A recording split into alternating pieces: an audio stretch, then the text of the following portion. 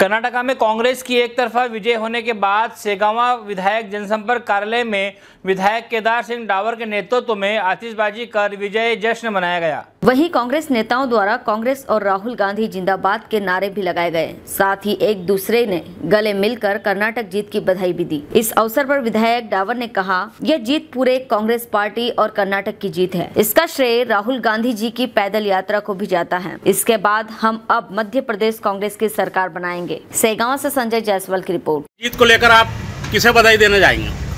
निश्चित तौर पर कर्नाटक की जीत कांग्रेस पार्टी के लिए ऐतिहासिक जीत है और ये हम सब पहले हमारे नेता राहुल गांधी जी को, प्रियंका गांधी जी को, सोनिया गांधी, हमारे अध्यक्ष खड़गे जी को, उनको, उनकी मेहनत और उनके अथक प्रयासों से जो जीत हासिल की, ये ऐतिहासिक जीत है।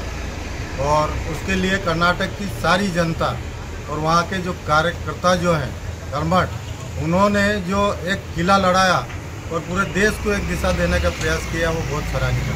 अब एमपी में जीत का दावा करेंगे? निश्चित तौर पे राहुल गांधी जी की जो यात्रा दक्षिण से उत्तर की ओर चली थी और दक्षिण से जीत का चेहरा चालू हो गया। और निश्चित तौर पे ये आने वाले चुनाव में मध्य प्रदेश छत्तीसगढ़ राजस्थान में कांग्रेस जीते हेलो फ्रेंड्स आप देख रहे हैं हमारा channel S W twenty four news हमारे सारे वीडियो सबसे पहले देखने के लिए आप हमारे चैनल को सब्सक्राइब करें और पास में लगे बेल आइकन को दबाना बिल्कुल भी ना भूलें।